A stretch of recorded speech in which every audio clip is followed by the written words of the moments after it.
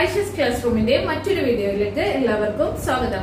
ഇന്ന് ഞാൻ വന്നിട്ടുള്ളത് eighth standard biology first chapter ആയിട്ടാണ് കുഞ്ഞറക്കുള്ളിലെ ജീവരഹസ്യങ്ങൾ.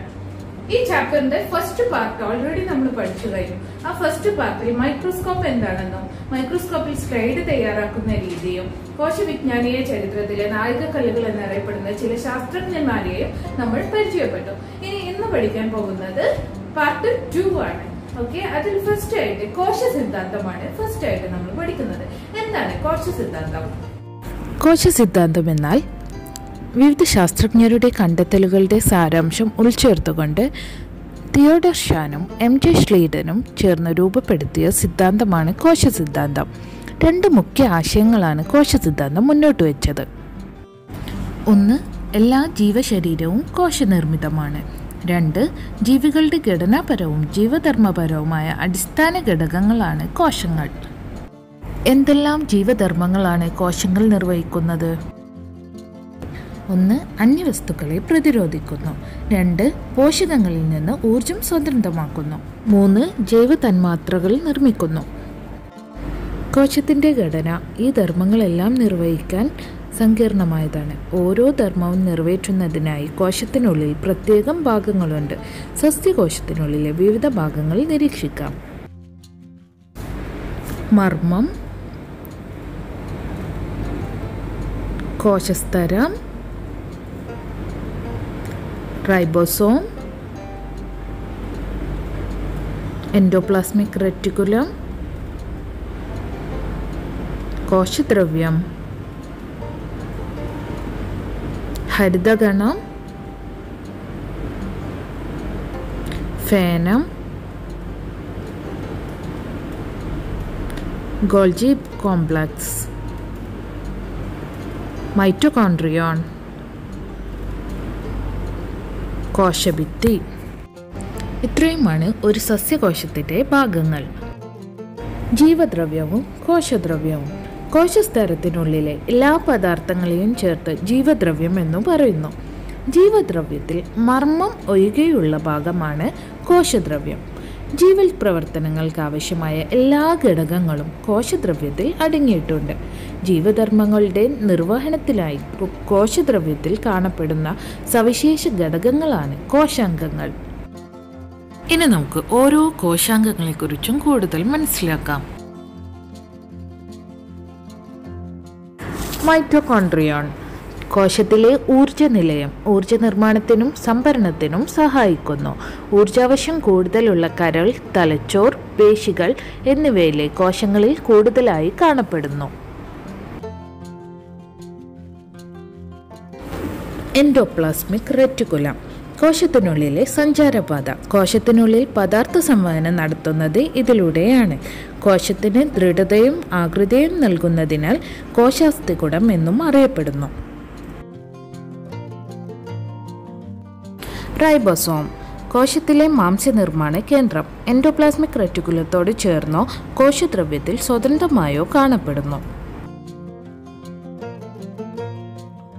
ഫേനം. ടോണോപ്ലാസ്റ്റ് എന്ന സവിശേഷ സ്ഥലത്താൽ ആവരണം ചെയ്യപ്പെട്ടിരിക്കുന്നു. ജലം ലവണങ്ങൾ വിസർജ്യ വസ്തുക്കൾ എന്നിവ സംഭരിക്കുന്നു. ഗോൾജി കോംപ്ലക്സ് രാസാഗ്നികൾ ഹോർമോണുകൾ ശ്ലേഷ്മരസം തുടങ്ങിയ കോശസ്രവങ്ങളെ സഞ്ചികളിലാക്കുന്നു ഗ്രന്ഥികോശങ്ങളിൽ കൂടുതലായി കാണപ്പെടുന്നു.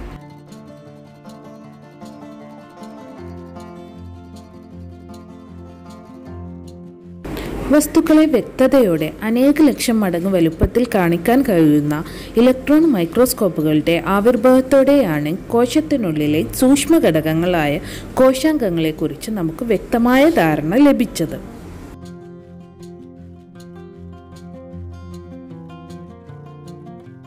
മർമ്മം കോശത്തിന്റെ നിയന്ത്രണ കേന്ദ്രമാണെന്നാണ് പറയുന്നത്. കാരണം കോശത്തിലെ വിവിധ പ്രവർത്തനങ്ങൾ നിയന്ത്രിക്കുന്നതിൽ കോശത്തിൽ ഉൽപ്പാദിപ്പിക്കപ്പെടുന്ന വിവിധ മാംസ തന്മാത്രകൾക്കു പങ്കുണ്ട്.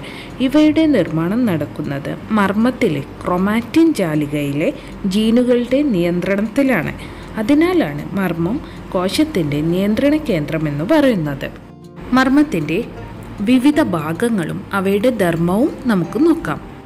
ഗോളാകൃതിയിൽ കാണപ്പെടുന്ന ഈ ഭാഗം റൈബസോം നിർമ്മാണത്തിന് പ്രധാന പങ്ക് വഹിക്കുന്നു. മർമ്മദ്രവ്യം. മർമ്മത്തിനുള്ളിലെ ദ്രാവക ഭാഗം മർമ്മകവും ക്രൊമാറ്റിൻ ജാലികയും കാണപ്പെടുന്നു. മർമ്മസ്തരം. മർമ്മത്തെ ആവരണം ചെയ്തു കാണുന്ന ഇരുപാളികളുള്ള സ്തരം. ക്രൊമാറ്റിൻ ജാലിക. മർമ്മദ്രവ്യത്തിൽ വലക്കണ്ണികൾ പോലെ കെട്ടുപിണഞ്ഞ് കാണപ്പെടുന്നു. ജീനുകളെ ഉൾക്കൊള്ളുന്നു. ബാക്ടീരിയ സൈനോബാക്ടീരിയ മൈക്കോപ്ലാസ്മ തുടങ്ങിയവയുടെ കോശത്തിൽ മർമ്മം കാണപ്പെടുന്നില്ല. ഇത്തരം ജീവികൾ പ്രോകാരിയോട്ടുകൾ എന്ന് അറിയപ്പെടുന്നു. അമീബ ജന്തുക്കൾ സസ്യങ്ങൾ എന്നിവയുടെ കോശങ്ങളിൽ സ്തരത്താൽ ആവരണം ചെയ്യപ്പെട്ട വ്യക്തമായ മർമ്മം കാണപ്പെടുന്നു.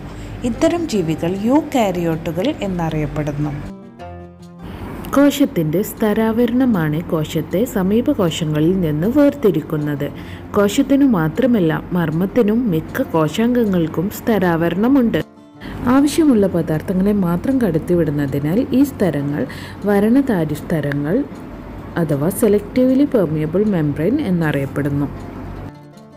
സസ്യകോശങ്ങളിൽ മാത്രം കാണപ്പെടുന്ന കോശാംഗങ്ങളാണ് ജൈവകണങ്ങൾ. ഇവ മൂന്ന് തരമുണ്ട് വർണകണം ഹരിതകണം ശ്വേതഗണം. ഇവയിൽ ഹരിതഗണത്തിലാണ് പ്രകാശ സംശ്ലേഷണം നിർവഹിക്കുന്നത്. വർണഗണങ്ങളാണ് പൂക്കൾ ഫലങ്ങൾ എന്നിവയ്ക്ക് നിറം നൽകുന്നത്. പ്രത്യേക നിറമില്ലാത്ത ജൈവകണങ്ങളാണ് ശ്വേതകണങ്ങൾ ജന്തുകോശത്തിന്റെ പ്രധാന ഭാഗങ്ങൾ കോശസ്തരം മർമ്മം endoplasmic reticulum Golgi complex lysosome mitochondria കോശദ്രവ്യം centrosome ഇത്രയുമാണ് ഒരു ജന്തുകോശത്തിന്റെ പ്രധാനപ്പെട്ട ഭാഗങ്ങൾ. ഇത്രയുമാണ് ഇന്നത്തെ നമ്മുടെ ക്ലാസ് കോശ സിദ്ധാന്തം സസ്യകോശം കോശാംഗങ്ങൾ മർമ്മ ഇലക്ട്രോൺ മൈക്രോസ്കോപ്പ് പ്രോകാരിയോട്ടുകളും യൂകാരിയോട്ടുകളും ജീവസ്തരങ്ങൾ ജന്തുകോശം. ഇത്രയും ഭാഗം നമ്മൾ ഇന്ന് പഠിച്ചു കഴിഞ്ഞു. ഇത് എന്റെ ക്ലാസ്. മനസ്സിലായെങ്കിൽ നിങ്ങൾ ലൈക്ക് ചെയ്യണം. നിങ്ങളുടെ അഭിപ്രായങ്ങളും നിർദ്ദേശങ്ങളും കമന്റ് ബോക്സിൽ കമന്റ് ചെയ്യുകയും വേണം. നിങ്ങളുടെ ഫ്രണ്ട്സിന് ചാനലിന്റെ ലിങ്ക് ഷെയർ ചെയ്യുക. താങ്ക്